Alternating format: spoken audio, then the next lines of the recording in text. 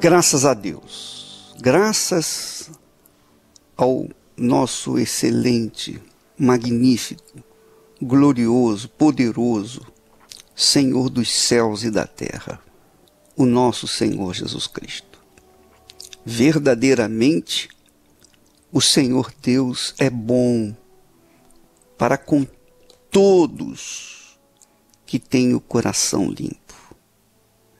Que Deus abençoe você, minha amiga, minha, meu amigo ouvinte.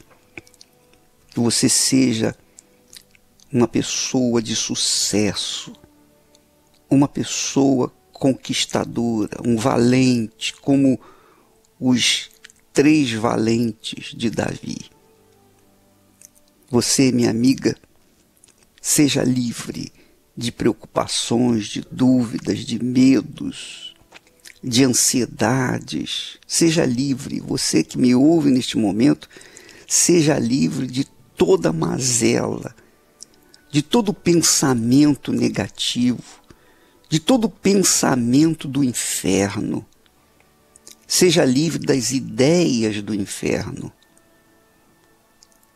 e seja cheia dos pensamentos do Todo-Poderoso para guiar a sua vida, estabelecer a sua vida, fazer com que as suas conquistas sejam estabelecidas para sempre. Que Deus abençoe a sua vida em o nome glorioso do Senhor Jesus Cristo. E quem crê, diga amém e graças a Deus. Graças a Deus. Minha amiga, meu amigo ouvinte, é dificilmente eu trato do assunto chamado inveja. Dificilmente, quase eu não falo sobre esse assunto, mas a gente sabe que a inveja deu origem ao primeiro homicídio na história da humanidade. A inveja que Caim teve de Abel fez com que ele matasse o seu irmão. A oferta de Abel foi mais excelente. Foi um sacrifício mais excelente para Deus do que o sacrifício de Caim.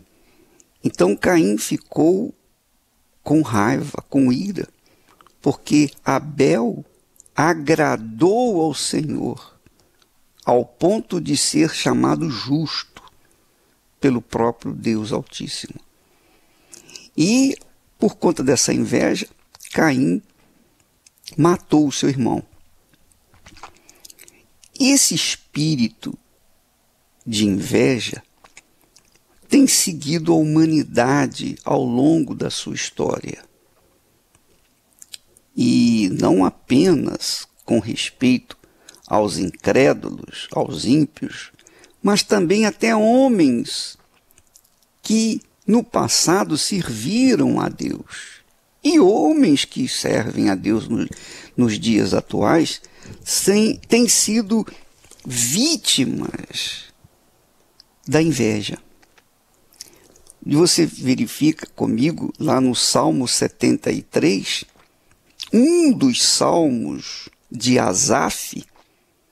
Asaf era um levita, ele servia no templo. Ele servia no templo, quer dizer, ele era um oficial do templo. Ele era um homem ungido. Ele era um homem de Deus. Mas ele também foi envolvido, influenciado pelo espírito do, da inveja. Ele mesmo confessa. Ele mesmo confessa. Ele diz assim: eu tinha inveja dos nécios, dos loucos, quando via a sua prosperidade. Eu tinha inveja dos que prosperavam, os ímpios que prosperavam. E eu dizia comigo: Poxa, não há problemas na morte deles. Eles estão firmes na força.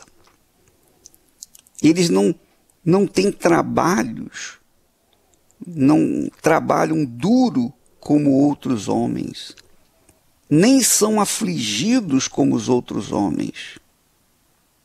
Eles usam o colar da soberba, vestem-se de violência. Olha só, os olhos deles são inchados de gordura.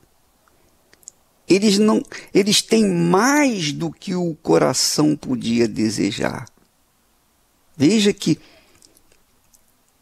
que Asaf fala do bem, entre aspas, que acontecia, dos benefícios que aconteciam com os ímpios, enquanto que ele, um servo de Deus, não tinha os mesmos privilégios.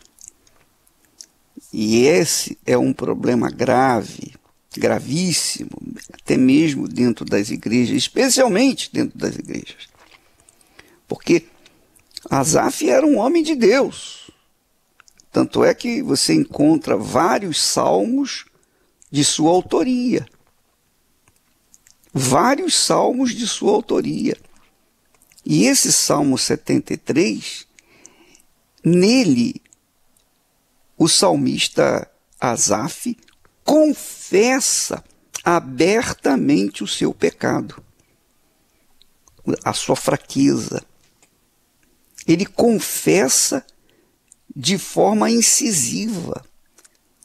Ele disse: Pois eu tinha inveja eu tinha inveja dos ímpios, da sua prosperidade. É como, por exemplo, se eu, eu falasse, ah, puxa vida, os, os ímpios são os mais ricos, são os mais poderosos.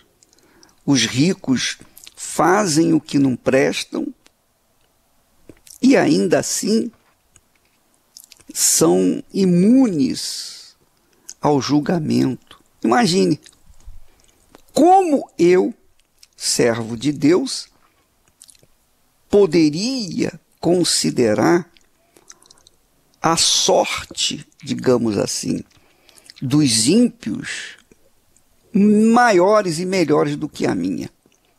Como que eu poderia, não acredito em sorte, mas num termo bem vulgar, como que eu poderia considerar que os ímpios que vivem no pecado são mais felizes do que eu que sirvo a Deus?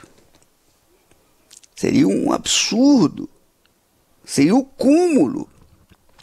Com certeza, Asaf foi influenciado pelo espírito da inveja. Porém, ele chega ao ponto de dizer, ele chega a confessar: hum, os meus pés quase que se desviaram. Faltou pouco, pouquíssimo, para que os meus passos escorregassem. Quer dizer, por pouco, muito pouco, pouco, pouco, pouco mesmo, ele não perdeu a salvação por causa da maldita inveja dos ímpios.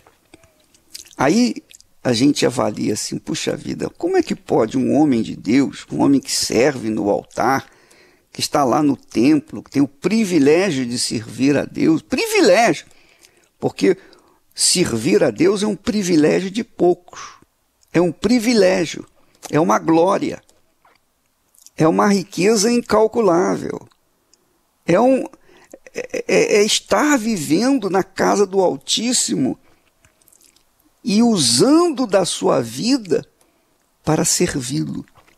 Quer honra maior do que essa? Quer glória maior do que essa? Assim era Asaf.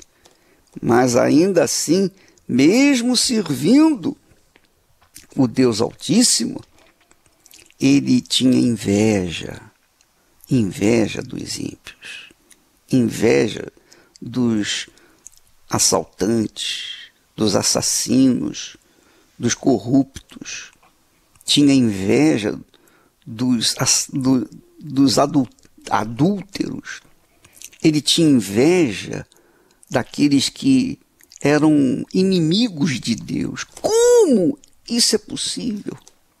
Como isso é possível? Mas foi possível, está aqui escrito. E, e Deus permitiu que isso tudo acontecesse para que nós pudéssemos aprender essa lição com Asaf. Asaf era um profeta, mas foi influenciado pelo espírito da inveja. Minha amiga, meu amigo ouvinte, eu vou dizer para você uma coisa. A pergunta que logo nos salta aos olhos é por quê? Por quê que Asaf, sendo um homem de Deus, um profeta, que escreveu belíssimos salmos, agora está confessando que ele tinha inveja dos ímpios, ele tinha inveja daqueles que não não servem a Deus, pelo contrário, eram inimigos do Deus que ele servia. E ele tinha inveja. Como que pode? Só tem uma resposta. Sabe qual é? A resposta é essa. Ele não tinha o Espírito Santo. Quem não tem o Espírito Santo certamente tem inveja. Certamente tem inveja. Certa, porque se esse homem que era servo de Deus, que foi profeta, que serviu no templo construído por Salomão, esse homem que era um levita, privilégio de poucos, um sacerdote, teve inveja dos ímpios. Se ele tivesse inveja, tivesse tido inveja do sacerdote, do sumo sacerdote, não seria certo. Mas a gente até compreenderia. Mas tem inveja de pessoas que eram inimigas de Deus, isso é, isso é uma, uma verdadeira aberração. Pois bem, quando uma pessoa não tem esse sentido, esse, esse senso, senso, eu digo senso de responsabilidade, essa consciência divina de que o seu, a sua posição é superior à, à posição até dos anjos. Porque a nossa posição aqui na terra, a posição dos servos de Deus aqui na terra, é superior dos anjos. Porque os anjos não passam por, pelo que nós passamos. Os anjos não, não estão envolvidos com as lutas que nós temos estado envolvidos. Nós estamos lutando contra a carne, nós estamos lutando contra a nossa vontade, nós estamos lutando contra o inferno para ganhar almas para Jesus. Os anjos não têm esse tipo de problema. Mesmo assim, se nós considerarmos a inveja, termos inveja dos ímpios que vão para o inferno, então é porque a gente está sendo louco. Não tem, não tem outra explicação. Há uma loucura. É, certamente Asaf não tinha o Espírito de Deus. Certamente não tinha. Mas Deus o usou. O Espírito Santo o usou para escrever esse texto e outros tantos sagrados. O Espírito Santo o usou. Assim como também o espírito do mal usou Asaf para ter inveja dos que haviam, que eram inimigos de Deus. Mas eu entendo, eu compreendo, eu tenho o discernimento de que quando uma pessoa tem inveja da outra, sendo uma pessoa de Deus, especialmente um oficial, uma pessoa que serve a Deus no altar diariamente, se ela tem inveja do, dos inimigos de Deus, é porque não tem o Espírito de Deus. Não tem o Espírito de Deus. Ah, não, mas eu sou profeta. Eu sou isso, eu sou aquilo na igreja, eu canto no coral. Eu sou fiel na igreja, eu sou pastor, eu sou bispo, eu sou esposa, eu sou isso, eu sou aquilo, eu sou missionária, sou um apóstolo. Verdadeiramente, quando uma pessoa tem inveja, na realidade ela não tem o Espírito de Deus. É claro que Asaf foi usado pelo Espírito Santo para escrever esses bel, belíssimos textos dos salmos, de alguns salmos, ele também foi usado, foi influenciado pelo espírito da inveja, o espírito do diabo, para ter inveja dos ímpios. Mas na atual conjuntura, quer dizer, depois que Jesus veio, deu a sua vida, morreu, ressuscitou, subiu aos céus e enviou o seu substituto, que é o Espírito Santo, para guiar os seus discípulos, guiar os seus seguidores, então é difícil entender. Eu, eu não compreendo, eu não aceito. Eu, eu, eu sequer aceito. É difícil e eu, é impossível conceber o fato de uma pessoa ter o Espírito Santo e, ao mesmo tempo, ter inveja de outras pessoas. Então, você que está me ouvindo nesse momento, talvez você seja uma pessoa de Deus, de, quer dizer, que sirva a Deus na igreja, no templo, seja lá onde for. Mas se você tem inveja de outras pessoas, minha amiga, meu amigo, com certeza você não tem o Espírito Santo. Com certeza você não tem o Espírito Santo. Porque eu não, não admito, eu não, não, não entendo como que uma pessoa cheia do Espírito Santo pode ter inveja de outras pessoas, especialmente dos ímpios, daqueles que são inimigos de Deus, têm sido inimigos de Deus. Eu não tenho. Eu, eu, eu não entendo isso. Só mesmo a explicação para mim é essa. A pessoa realmente não tem o Espírito Santo. Não tem o Espírito Santo. Se ela é possuída por um espírito maligno, eu não sei. Mas uma coisa eu sei: ela não tem o Espírito de Deus. Ela não está possuída pelo Espírito Santo. E é por isso que nós temos trabalhado, lutado, para que as pessoas recebam o Espírito Santo. Jesus disse: esperar em Jerusalém, até, até que do alto sejais revestido do poder do Espírito Santo. Depois que vocês receberam o Espírito Santo, vocês podem sair por Samaria, vocês podem ir por todos os lugares, até os confins do mundo, mas enquanto não receber o Espírito Santo, vocês fiquem aí em Jerusalém. Quer dizer, o pensamento no altar, a vida espiritual no altar, manter-se no altar, o pensamento focado nas promessas de Deus, aguardando o Espírito Santo. Essa é a razão do porquê nós vamos iniciar o jejum de Daniel a partir deste domingo agora, quer dizer, de sábado para domingo, né? A partir de meia-noite de, de sábado, zero horas de domingo, então nós começamos o jejum de Daniel. O jejum de Daniel são 21 dias, quando as pessoas interessadíssimas e dispostas a sacrificar tudo pelo, para receberem o Espírito de Deus, elas vão fazer abstinência de informações, informações seculares. Elas não vão assistir televisão, elas não vão é, assistir novelas, excepcionalmente a novela Os Dez Mandamentos, na, na segunda etapa. Elas podem assistir, devem assistir, porque isso remete para a fé mostra a fé.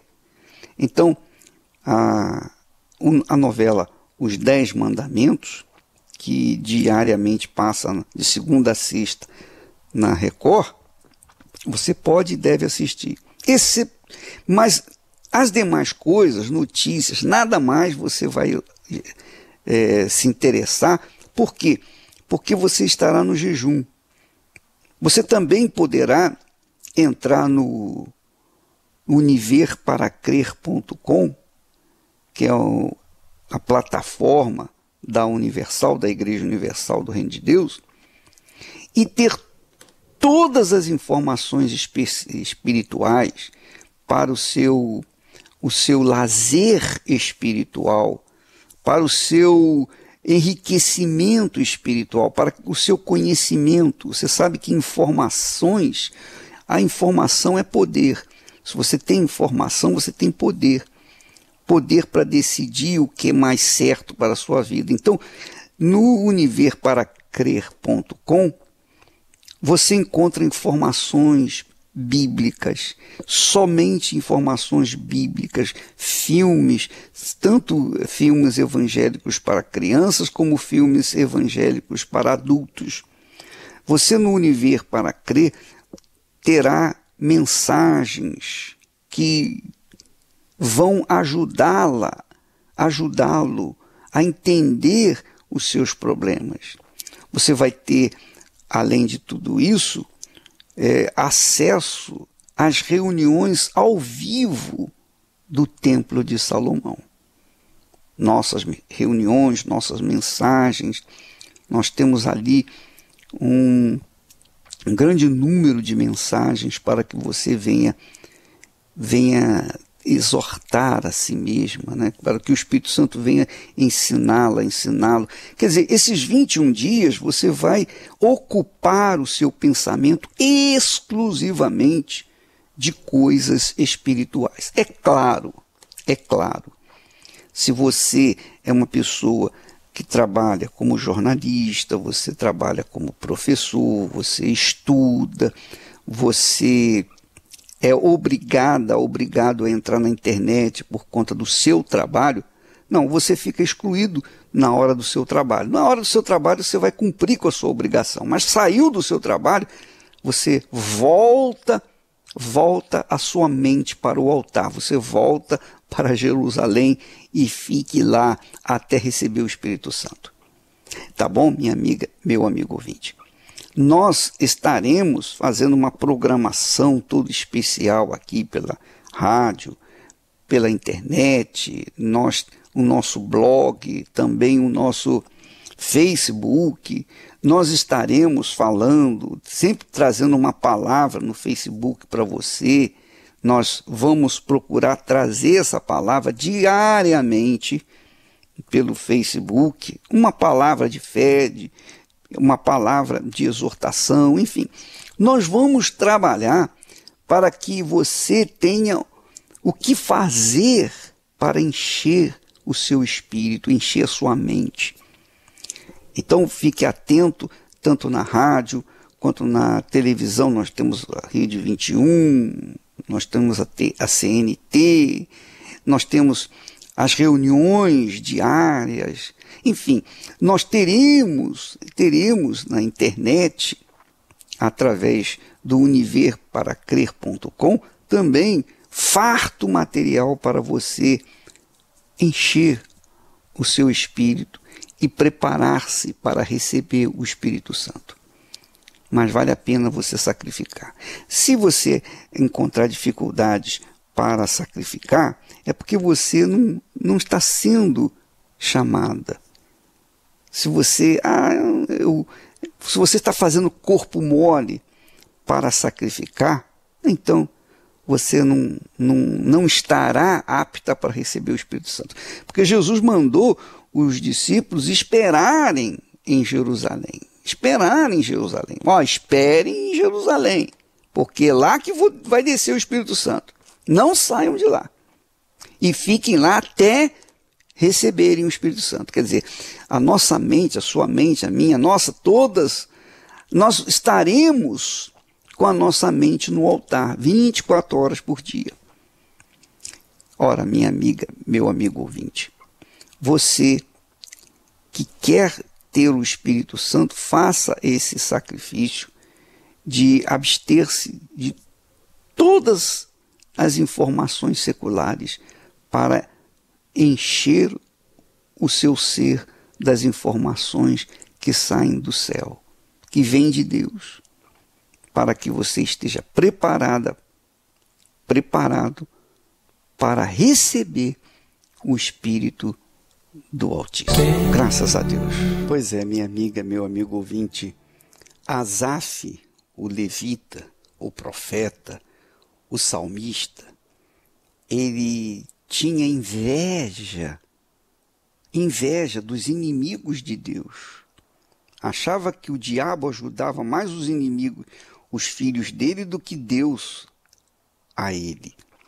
Então, ele fala aqui no versículo 16: Quando eu pensava, quando eu meditava, quando eu procurava entender isso, foi difícil, foi muito doloroso, muito doloroso para mim.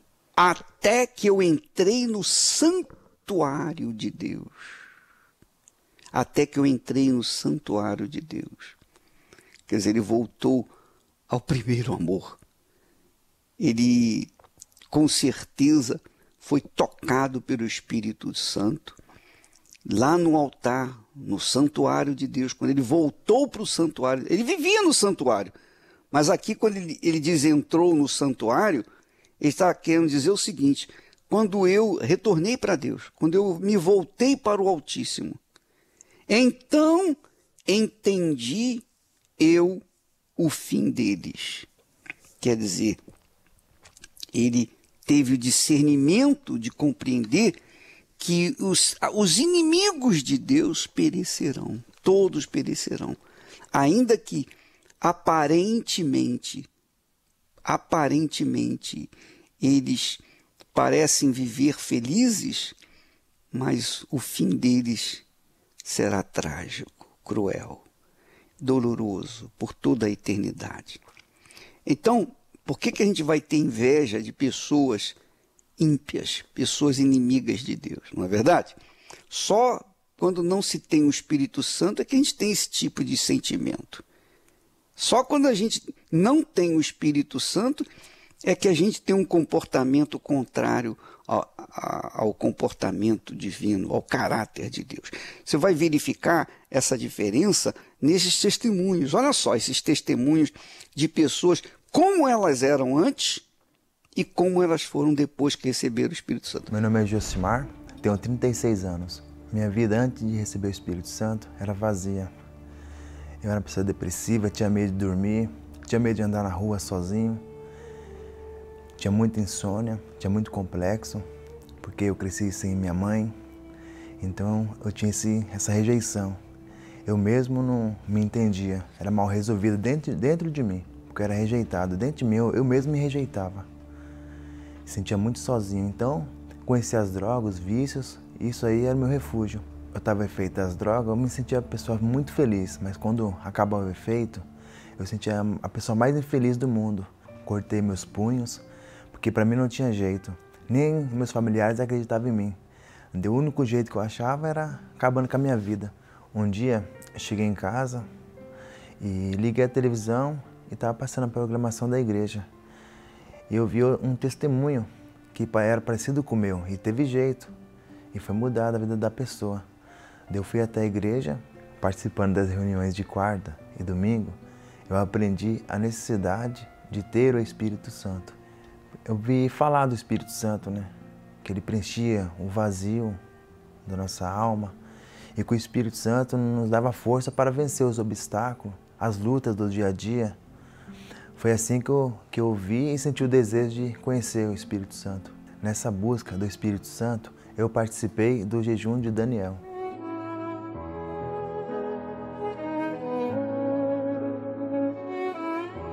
Nesse jejum Daniel, eu me dediquei 100%, abri mão da televisão, dos jogos, de toda a informação circular. Jejuei, li a Bíblia e fui mais à igreja, buscar o Espírito Santo. Foi quando um dia eu recebi o Espírito Santo.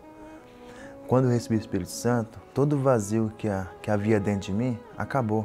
O Espírito Santo preencheu todo o vazio. O desejo de morrer, o desejo que eu não tinha de viver, eu passei a ter o desejo de viver. Eu senti uma paz, uma alegria.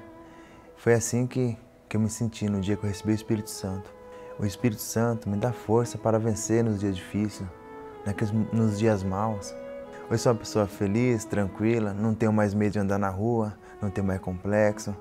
converso com todo mundo, não tenho mais o desejo de morrer, hoje eu quero viver.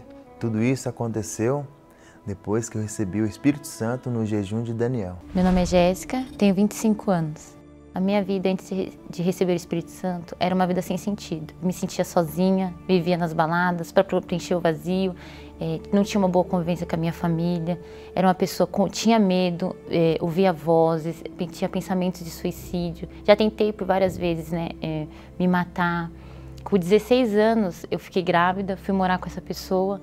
Com, quando meu filho nasceu, um mês que ele tinha nascido, eu sofri agressão física dentro do hospital, né? E depois disso começou todas as agressões. E isso me fez ser, me sentir inferior. Tive complexo de inferioridade. É, me sentia a pior pessoa do mundo. Me sentia a pior pessoa do mundo que tinha. Todo mundo era melhor para mim e eu não tinha saída. Eu não achava que eu tinha, que eu podia conseguir ser alguém. Eu não achava que um dia a minha vida ia melhorar. Né? Cheguei a momentos de tentar o suicídio, Cheguei um momento de não poder, de não sair de dentro de casa. O momento mais triste para mim foi quando esse relacionamento, nesse relacionamento a pessoa tentou me matar.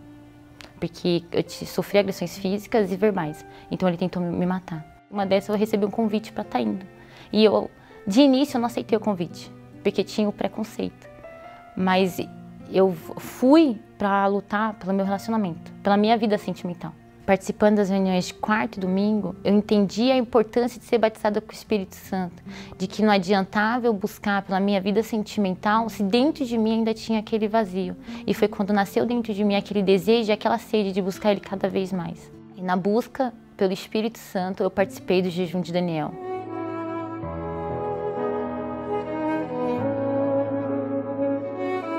Participando do jejum de Daniel, eu me dediquei 100% porque aquele desejo que tinha dentro de mim crescia cada vez mais. Então tudo que o homem de Deus falava no altar, eu me lançava, eu me dedicava. Ele, ele falava para mim fazer um jejum de, de, três horas, eu fazia de, de seis horas. Eu me dediquei, coloquei toda a minha vida no altar, não me di esforço, fiz coisas que eu nunca imaginei fazer por ninguém. Eu coloquei toda a minha força, eu me lancei como nunca tinha feito nada. No jejum de Daniel a gente abre, são 21 dias de sacrifício dos nossos desejos abrir mão do, das redes sociais, abrir mão da internet, da televisão, das músicas. Eu abri mão de mim, porque era o que minha carne queria, mas eu abri mão disso pra, em busca do, do Espírito Santo, em busca de me lançar, em busca de satisfazer aquele vazio que estava dentro de mim. Nesse período eu, é, que eu abri mão de tudo, porque seria muito fácil, né? Eu abrir mão de tudo e não ter nada para ocupar esse lugar. Então eu orei mais, eu jejuei mais, eu li a Bíblia eu ouvia as programações na rádio, eu assistia as programações na televisões, eu, eu li, eu, não, eu nem posso falar que eu li, eu engoli, né, o livro o, o, Espírito Santo, porque ali me ensinou passo a passo de como ir até Deus, de como encontrar Deus. Se aquele desejo dentro de mim era, era de fato, eu queria ser preenchido, eu queria me lançar, então eu aprendi ali. Até que um dia eu recebi o Espírito Santo.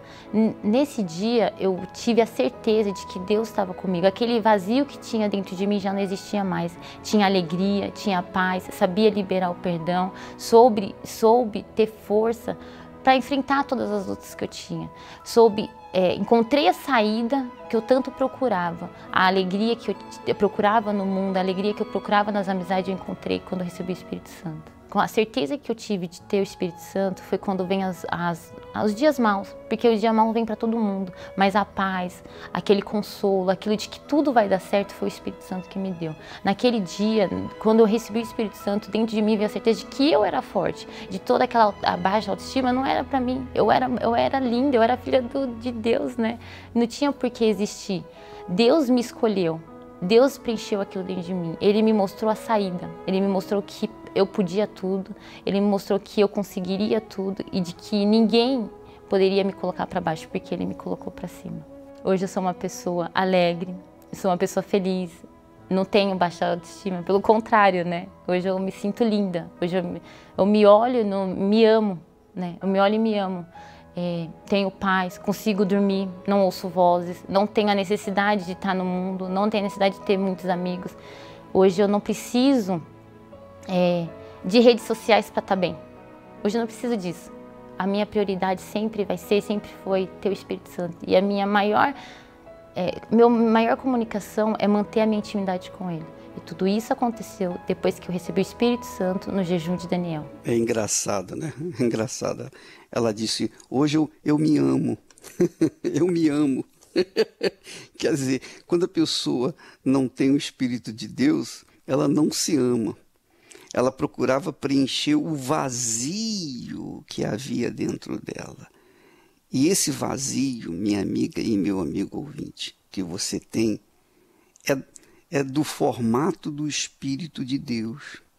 Se não tiver o Espírito de Deus, esse vazio vai permanecer pelo resto da vida até a morte. Presta atenção, o Espírito Santo vem para preencher todo e qualquer vazio. Ele não deixa espaço para nada. Então a pessoa é feliz, é alegre, a pessoa tem paz.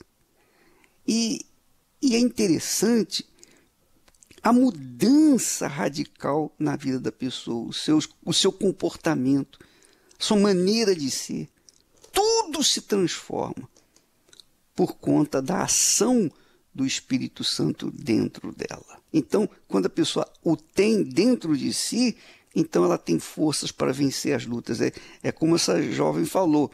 Olha, eu. É, todo mundo tem problema, todo mundo enfrenta problemas, todo mundo enfrenta problemas. Eu não tenho dúvida. Se não enfrenta agora, vai enfrentar amanhã, sempre vai ter problemas.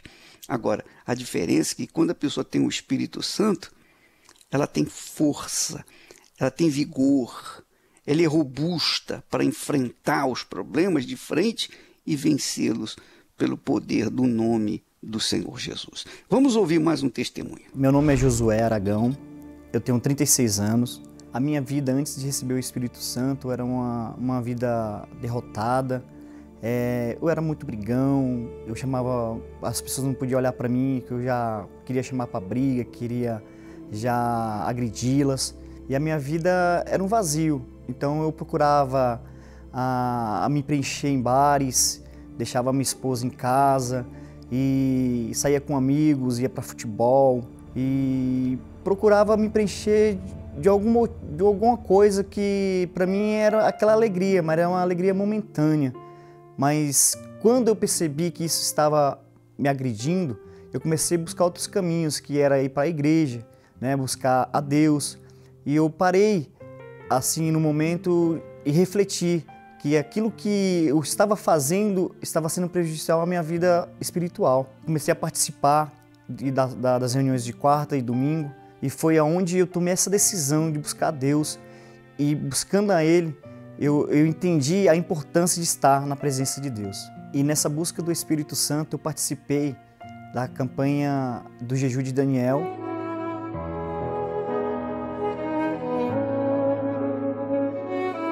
No jejum de Daniel, eu me dediquei a buscar a Deus e eu falei: essa é a hora que eu tenho que conhecer realmente o que é o Espírito Santo. Foi quando eu comecei a buscá-lo nesses 21 dias, deixei tudo para trás, as informações, internet, Facebook, Instagram, é, a bebedice, a amizade principalmente, porque as amizades que eu tinha só estava me levando para o buraco, eu estava me afastando de Deus, eu parei de mentir, parei de beber, parei de, de fazer coisas que não agradavam a Deus.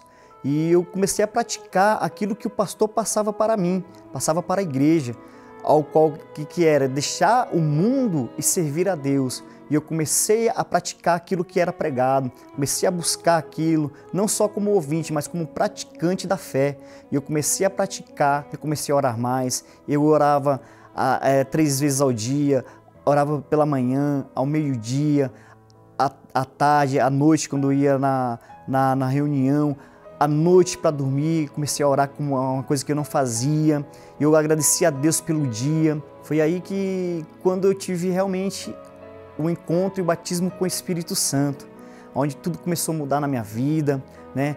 eu já comecei a ser mais paciente, mais manso e aquela mansidão do Espírito de Deus foi tomando conta de mim. Hoje eu não já olho com pessoas querendo brigar, eu não procuro mais querer ser agressivo, mas sempre ensinar as pessoas o caminho certo, a pregar a palavra de Deus com mansidão, né? buscar as almas perdidas aí fora. Como assim eu também já fui perdido e hoje eu fui achado.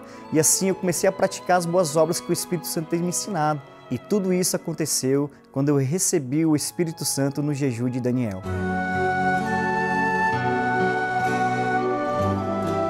A fé e a inteligência trabalham juntas. Embora a fé seja encarada como loucura para esse mundo, ela é inteligente porque nos faz saber que temos direito à felicidade. A fé faz com que recusemos uma vida de derrotas e conquistemos uma vida de vitórias. Se tudo não está de acordo com os seus ideais, está na hora de você refletir com a sua inteligência e usar a sua fé para trazer à existência os desejos de seu coração. Igreja Universal do Reino de Deus um lugar de fé para a sua vida. Muito bem, minha amiga, meu amigo, nós vamos chegando ao ponto final do programa. Amanhã estaremos de volta nesse horário, nesta emissora. Que Deus abençoe a sua vida abundantemente em nome do Senhor Jesus.